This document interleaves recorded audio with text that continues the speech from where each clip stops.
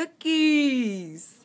Yes, ladies and gentlemen, we have come to the end of another Cooks and Books show with your host, Adra Young. I am with Toretta Pickens, also known as Auntie Rah Rah's Cookies, and we had a great time on the show.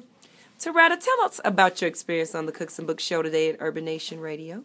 This was an awesome experience. My first interview. Yay! So I, I had a ball, and I'm just so honored that you reached out to me in the first place. I am so glad too because your story is going to be an inspiration for other individuals and, and uh, entrepreneurs who want to get their um, business going as well. So. Okay, so tell us the number. So, uh, people, Thanksgiving is coming, birthdays are coming, Christmas coming, and Hanukkah. I mean Hanukkah.